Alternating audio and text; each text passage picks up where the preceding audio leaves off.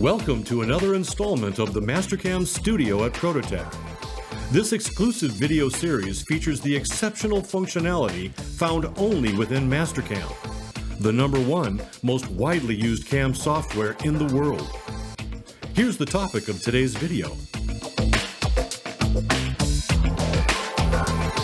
Today we are on site at Milltronics USA up here in Waconia, Minnesota, doing some test cuts in their showroom.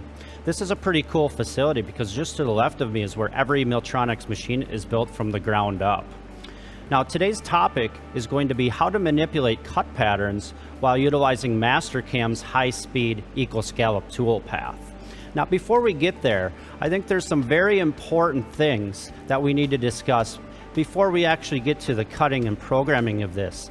And I, I, con, I call them factors. So there's really four factors that anytime we're going to be doing any high efficiency machining can become a very big player to have the most success. So factor number one, uh, factor number one is going to be the machine. So in this case here, we're cutting with a Milltronics 3018IL. Uh, this is going to be a big plus spindle, 25 horsepower, and this machine is going to have a, a, capable processor to keep up with the demands that I've been throwing it for the last couple days. Factor number two is going to be tooling.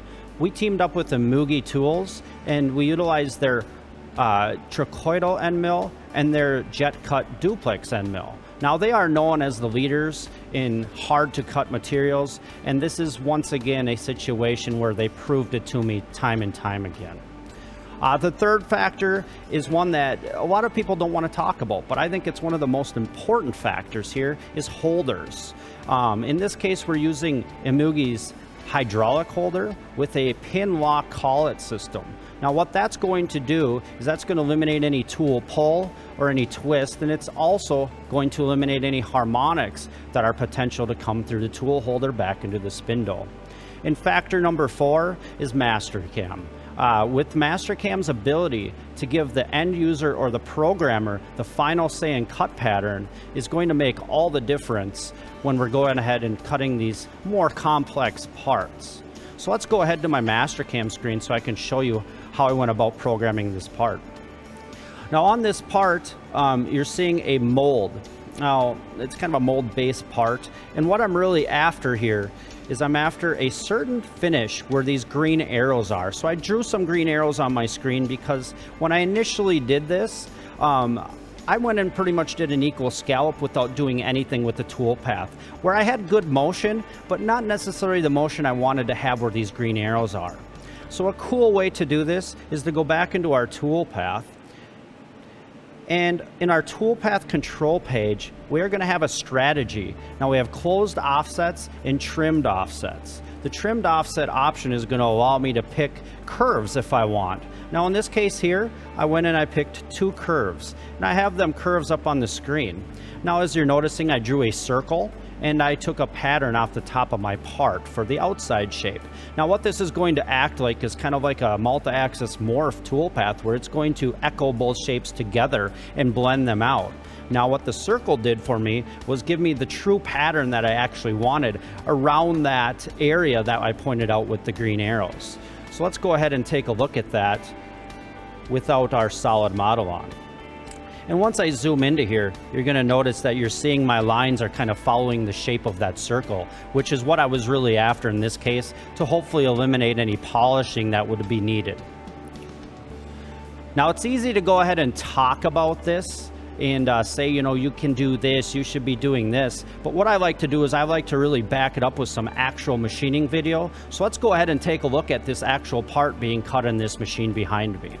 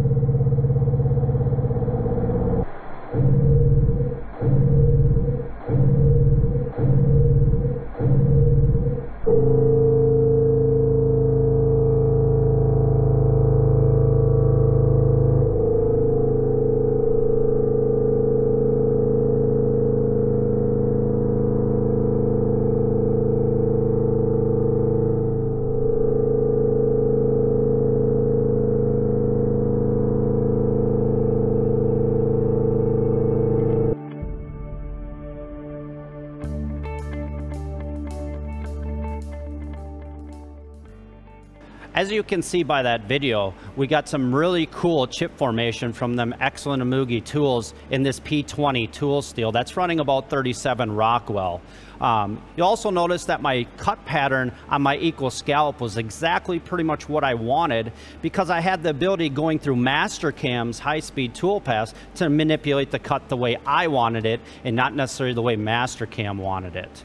So I'd like to take a special thanks just to thank our partners in this case, uh, Milltronics USA and Emuge Tools. Uh, their applications engineers went above and beyond with some very high sophisticated machinery and tools that made this job really a breeze, where otherwise it could have been a little bit of a uh, challenge for me. And I'd also like to say, any Mastercam questions you have, you can go ahead and contact the number below. Um, with anything, any type of question you have about a Mastercam, we're happy to answer them questions for you direct. And as always, thanks for watching our YouTube channel, and I hope you can definitely check us out again in the future.